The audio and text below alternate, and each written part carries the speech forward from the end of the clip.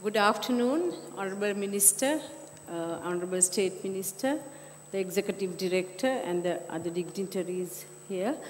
Uh, so we've come to a closing session, which has been a marathon session for the Export Development Board. Uh, I must say that we have had, uh, it has been very positive uh, uh, results, and we are very happy that ITC gave us this opportunity to work along with the ITC to hold the 16th WEDF uh, in Sri Lanka. At the time we took it on, uh, we weren't sure what we were actually in for.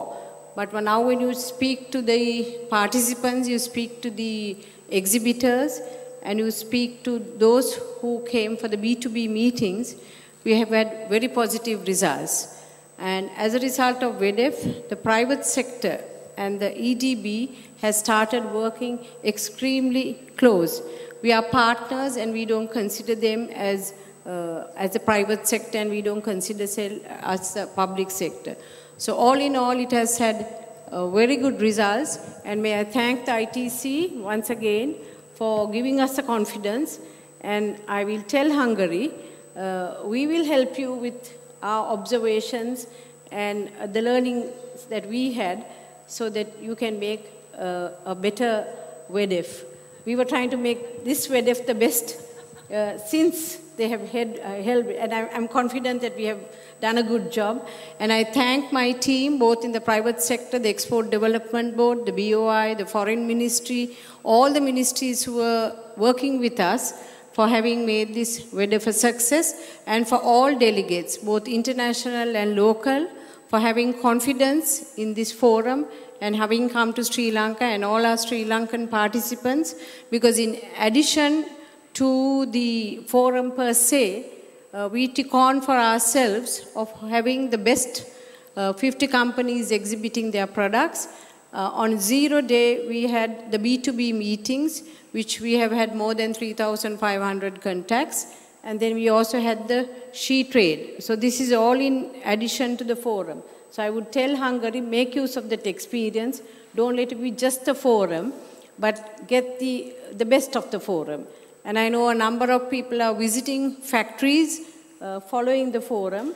And we have had several uh, international delegates who, are, who have come here for the very first time. So thank you once again.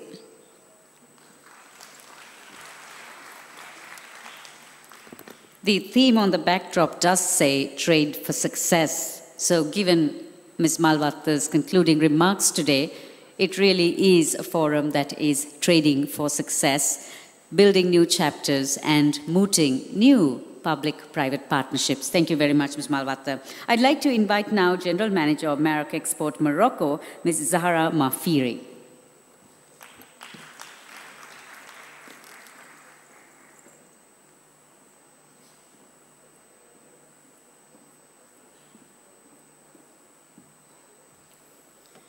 Assalamu alaikum wa rahmatullahi ta'ala wa barakatuh.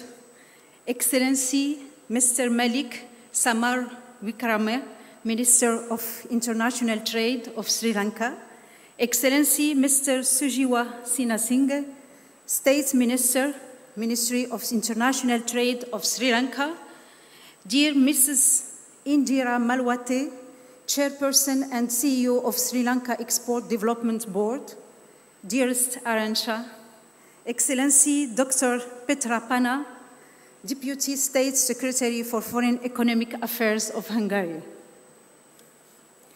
Honorable delegates, global entrepreneurs, distinguished participants. Congratulations to ITC and Sri Lanka. Thank you, Arancha, for making it in Sri Lanka. One should be here physically in Colombo heaven of seas. To believe that Sri Lanka is such open economy and immersion country, enjoying a strong vision, processing towards a competitive trading hub. Yes, vision shared with all of us here with the presence of His Excellency, Mr. the President of the Democratic and Socialist Republic of Sri Lanka. Then, I congratulate Mrs. Indira Malwatte and her team for the devotion to make it a successful 60th edition of the WEDF in Colombo. Yes, this forum was a platform of exchange between high-level panelists, moderators, and a very active audience. I quote some acts, keywords, and thoughts that impressed me. We missed export focus. FTAs make trade grow with our partners. Disruption. More about attitude. Create business, policy will follow. ITC and Alibaba together for SMEs in the world. Trade is not an objective in itself, it's a mean tool.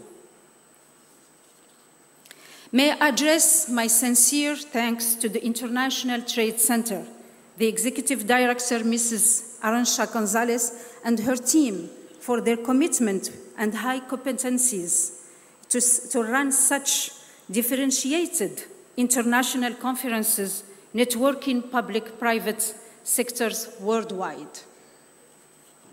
Ladies and gentlemen, many entrepreneurs asked me yesterday, where is Morocco located?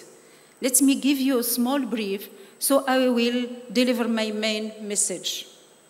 The Kingdom of Morocco is an African, Mediterranean, Arab, and Berber country, enjoying 3,500 kilometers of Mediterranean Sea and Atlantic Ocean, a wide open economy since, since 80s with 55 free trade agreements that enable to today Morocco to export to 180 countries, a very diversified basket of products and services.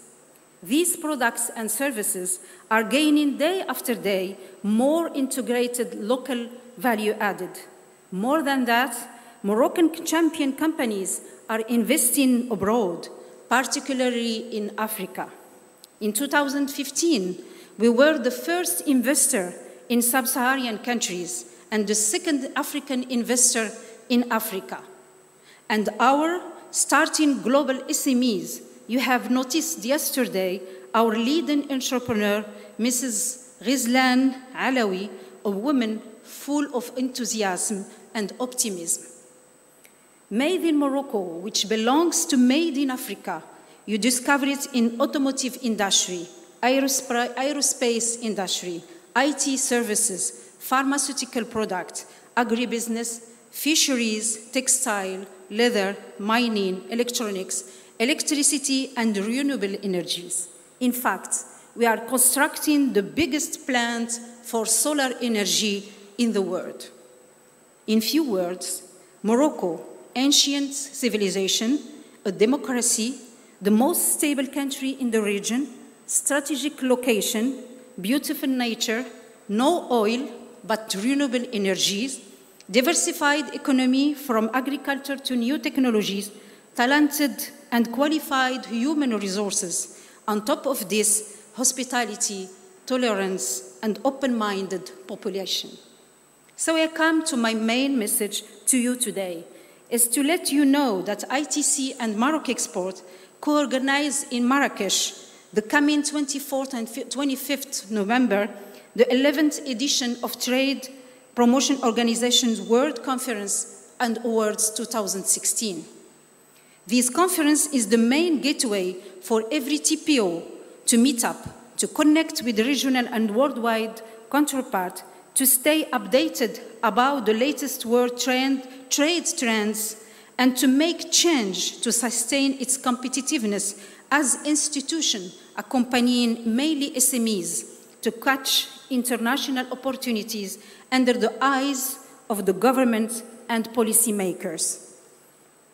This World Conference is also a chance for the creation and consolidation of mutual collaboration at the international, regional, and bilateral level. The awards awarded recognize and encourage excellence in trade support services. In fact, this outstanding honor given to my organizations ele elected in Dubai 2014 was a true acknowledgement of the effort and hard work of each member of the Morocco export team since 37 years. As Moroccans, we consider the TPO Network World Conference and Awards 2016 will honor Africa. A massive participation, nearly 30 African TPOs are expected to attend this important meeting. As Arancha mentioned yesterday, next shift is Asia and Africa. I add to this our strong royal beliefs in and effective support to South-South cooperation. Happy to seize this opportunity within such strong presence of Asian participants. Your point of view are critical to shape the future of TPOs. The Kingdom of Morocco, ITC, and Morocco Export will be extremely honored re by receiving you coming November in the wonderful city of Marrakesh. Ladies and gentlemen, I would like to share with you our experience on a special and supportive collaboration with ITC. A few months ago, Morocco Exports has been again under a deep benchmark assessment mission led by the International Trade Center. The results of these evaluations showcased a great improvement of the general score of Morocco export, which jumped from 37.9 in 2013 to 60.2 in June 2016. This scoring offered a huge and unique confidence to my team, to myself, and to our stakeholders. We, uh, we, were also designated as the best TPO in Africa in terms of performance due to three main characteristics a long term inclusive development vision and a result based management strategy, a highly motivated skilled team, and a permanent ITC support and assistance. This third important component of our success has not only enabled us to enhance our internal management and work structuring, but also to perform a new portfolio of services delivered to the Moroccan exporters. In addition, my colleagues have usually the opportunity to attend ITC training session, whether in Morocco or in Geneva. Many other vital projects under processing, such as evaluating our return on investment indicator developed by ITC with the collaboration of University of Geneva. Furthermore, Morocco Exports was elected in March 2016 as co-chair of the International Trade Center Advisory Board on Trade and Investment Support Institution, TISI, a new platform launched by Arancha for sharing and identifying needs of TPOs in their diversity and complexity for a better service of ITC to our community. The 12 members board will provide guidance to ITC for the continual improvement of its TISI strengthening initiatives and to advocate the relevance of institutional strengthening in their respective regions. It will also effect, uh, be effectively in the design of the TPO Network World Conference agenda to ensure that the debates are focused on the pressing issues facing TPOs. Ladies and gentlemen, as a performing TPO in Africa and with the orientation of Arancha, Morocco Exports initiated the launch in December 2014 in Casablanca of an African network which starts with eight members and today we are 13. The members of this network, who are the CEOs and general managers of African TPOs, meet regularly to discuss and to develop the institutional cooperation between African economies and to foster the worldwide export of African products and services. We contribute to build up together the Made in Africa label. Our goal is to position this label within the international value chain. Ladies and gentlemen, during these couple of days and throughout the panelist presentation and participant rich debate, everyone has contemplated a set of excellent innovative initiatives made by their entrepreneurs from all corners of the world. That exchange of ideas and sharing experiences are a foundation tool to build up our common success, which is at the end of the day developing our countries' international trade as well as fostering our positioning in the global value chain. Dear participants, allow me to reiterate our joint invitation, ITC and Maroc Export, to TPOs of Asia for the TPO World Conference and Award 2016 in Marrakesh on the 24th and 25th November 2016. S2T.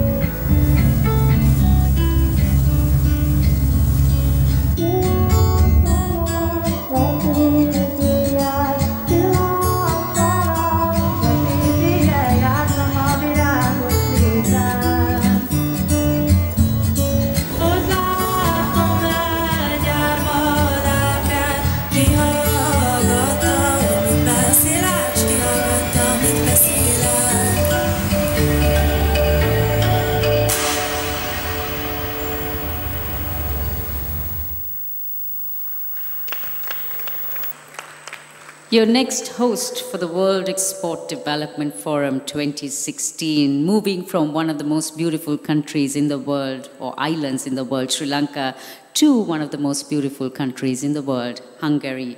At this point, that was the prelude to introducing Her Excellency Dr. Petra Pana, Deputy State Secretary for Foreign Economic Affairs of Hungary.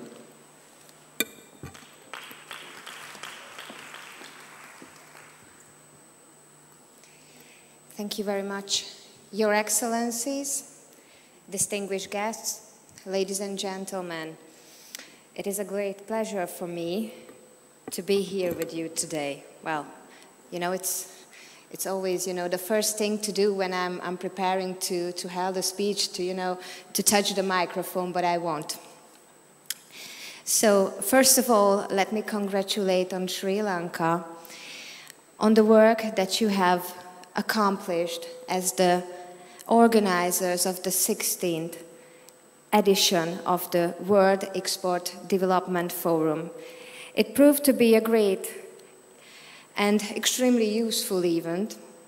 It brought together hundreds of business leaders, policymakers, heads of trade and investment support institutions to address international competitiveness to developing countries.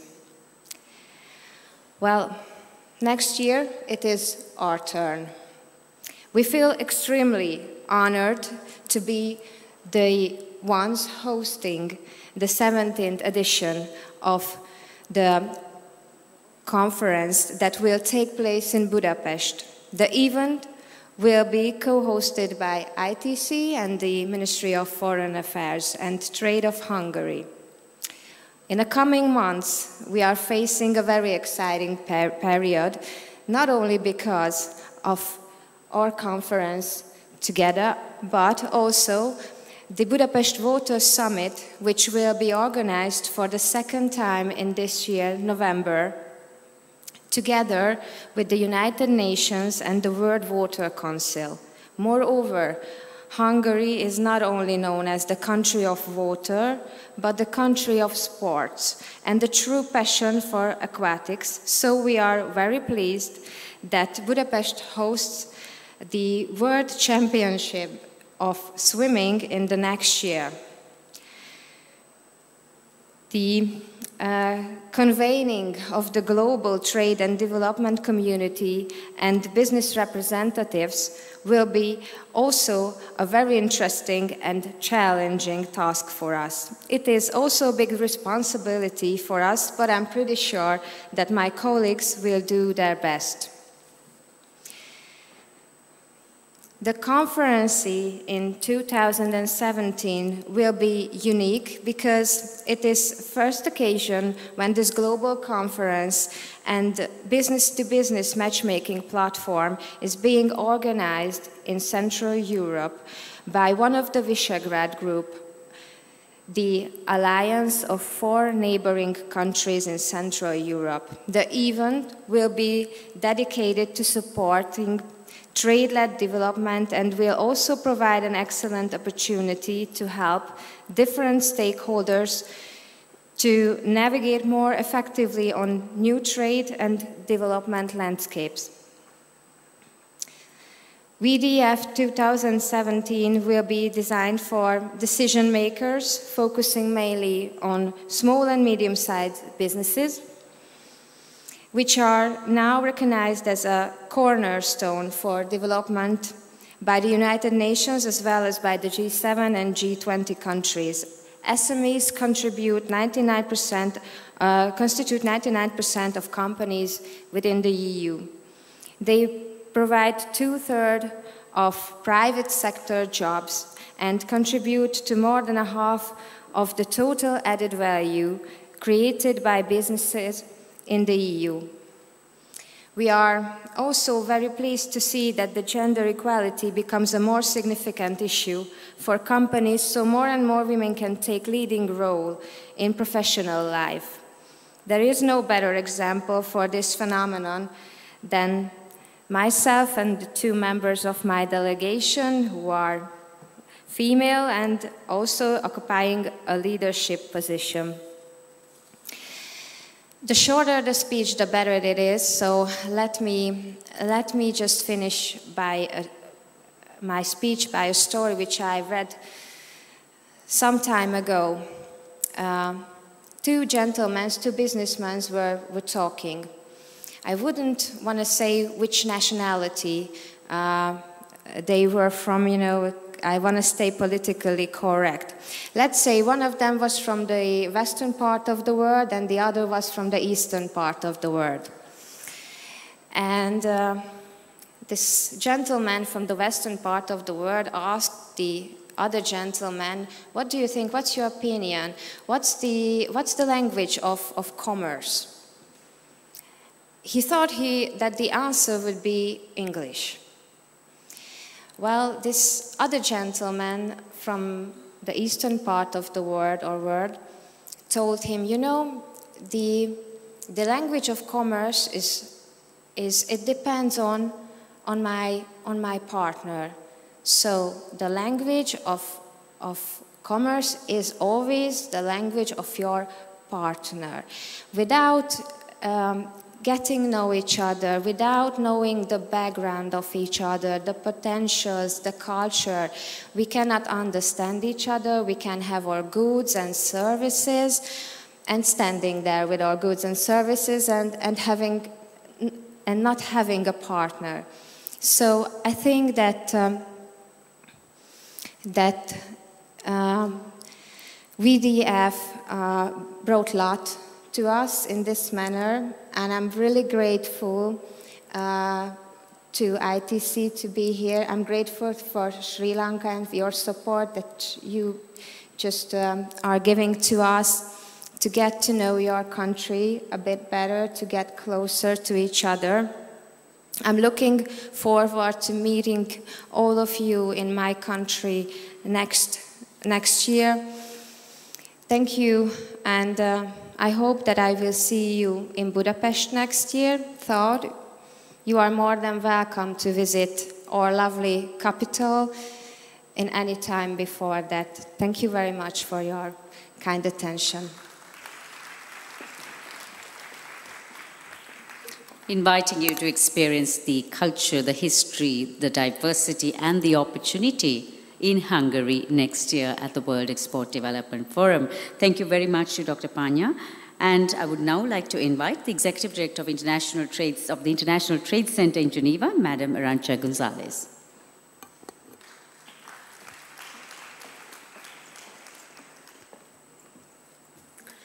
Dear Minister, dear State Minister, dear friends, the bad news is that the conference is coming to an end. But the good news is that you have two new invitations. One for November 24 25th in Marrakesh, World Trade Promotion Organization Conference. The second one for Budapest, World Export Development Forum 2017. As we come uh, to the end of a very exciting uh, program, let me start by thanking very sincerely the people, the government, the business sector in Sri Lanka for the warm and gracious hosting. It's uh, in this, in thanking everybody, I also would like to thank in particular the Export Development Board of Sri Lanka, uh, in the person of Indira, who has been a great leader, a great friend, and a great partner in this endeavor. Thank you also to the panelists, to the thought leaders, and to the entrepreneurs that have provided over uh, these uh, two days exceptional input that has allowed us to understand a little bit better the world of trade, where we are and in which direction we are moving. The forum was about talking trade, talking business, and we did talk business. We I think, have a better understanding of the importance of meeting international standards, both private and public, for the competitiveness of businesses. We understand better how using e-commerce and digital solutions can unlock greater opportunities and access new markets around the world. We also understand how investing in authentic tourism uh, can create jobs and investment, good quality jobs and investment. We've also talked about how investing in women and youth to become valuable actors in international trade can contribute to more inclusive growth. And we have, I think, a better understanding of this landscape of mega regional trade agreements and how they can, they should synergize with the multilateral trading system. I think it's also fair that in doing so, the business sector in Sri Lanka, the government of Sri Lanka have shown an amazing level of collaboration that I think uh, is very interesting model. It's a very interesting model for any country that wants to succeed in international trade. We've also discussed how empowering women and youth, as I said, uh, can help more inclusive growth. Just this morning, we had a wonderful event at the uh, stock exchange, Colombo Stock Exchange, and we rang the bell for She Trades, which, as you know, is the initiative we launched last year in support of the United Nations Global Goals to empower women economically. On this one, we are extremely proud to have launched She Trades here in Sri Lanka, uh, especially because the EDB already has taken She Trades on board and launched their own program to empower women economically. Also because we hear many more programs are coming on stream in that regard, including uh, by male champions like uh, the um, uh, Excellency State Minister uh, Sujeewa, uh, whom I thank for that. It's also part of our engagement uh, in Sri Lanka under an initiative financed by Australia. The International Trade Center is working to empower women economically along the Indian Ocean, in Indonesia, in Sri Lanka, and in Kenya, and we will continue to do so. But WEDF was also about doing business. I'm pleased to report that around 200 companies participated in B2B sessions from over 30 countries. Over 3,500 business meetings were arranged, and beyond the headline figures, which we don't have because a lot of discussions are still continuing, I think the most important takeaway is the kind of relationships that have already started as a result of this B2B. And we have three takeaways from these B2Bs.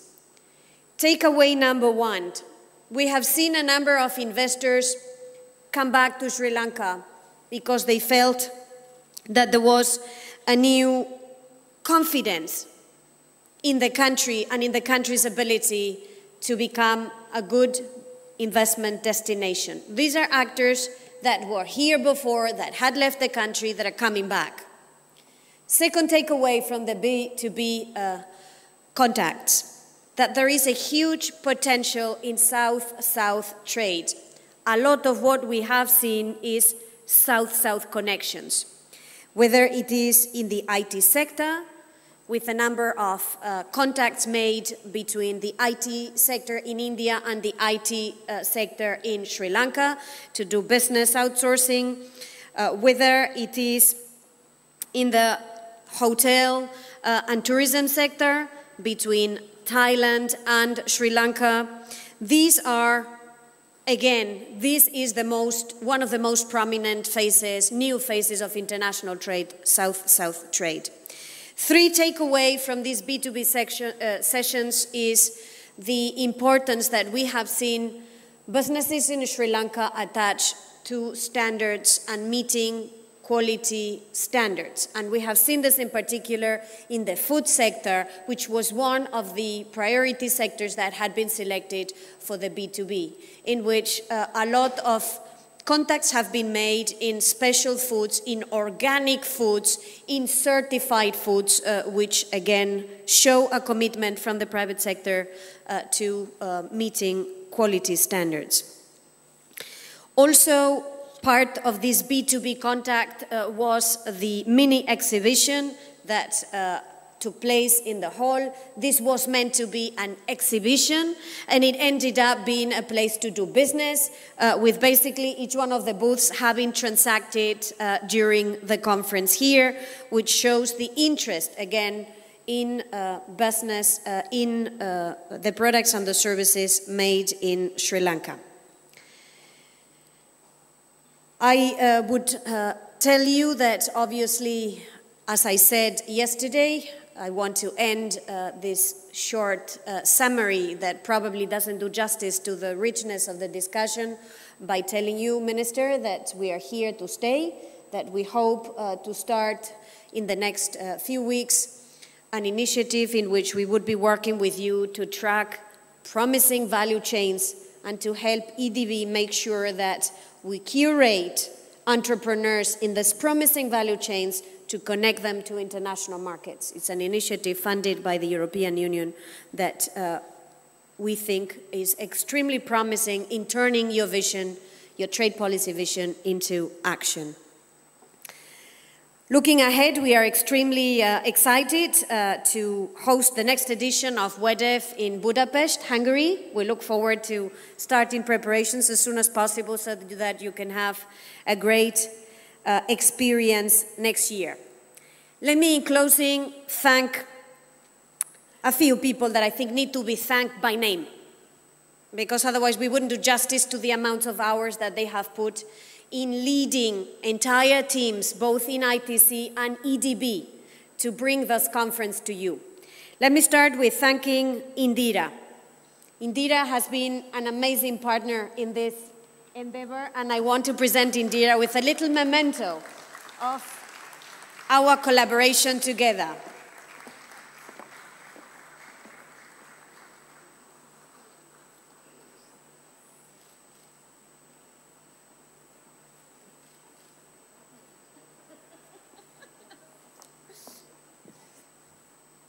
I want to tell you, Minister, that you have a great asset in this woman. It's not because she's a woman, but because she is a great asset. Uh, it's been great working with her, and it's been great working with her team uh, under the leadership of uh, Anona, that I think we should, uh, wherever she is, uh, give a big applause to.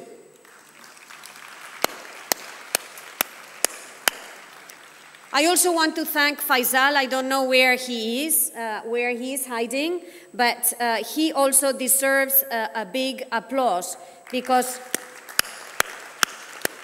this WEDF was a joint venture between ITC and Sri Lanka, but in Sri Lanka there was EDB and there was the private sector. And Faisal, as the representative, the visible representative of many private sectors who've contributed to the success of uh, WEDF, made it extremely easy for us to get here. Let me, in closing, also thank the team in ITC in the person of Sibile, whom you know by now because uh, she's been uh, in touch with all of you. Now, of course, Sibile is the visible face of a huge team. Uh, sorry, not a huge team, but a hugely enthusiastic small team, because we are not many, but we are extremely committed to make it happen. I just thought I had to recognize her for the uh, huge amount of uh, work that she has put in making this happen. Thank you so much. So, this is the end of uh, my uh, short summary. Thank you to all for being with us and wish you can be with us in Budapest next year.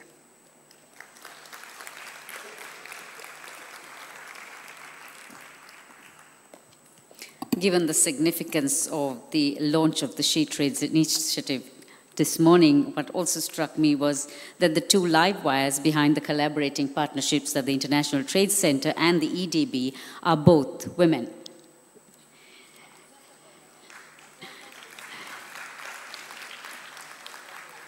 And in thanks for ITC making Colombo, Sri Lanka the venue for the World Export Development Forum 2016, I'd like to ask uh, Ms. Malwatte to present a gift on behalf of the EDB team to Madam Arancha Gonzalez.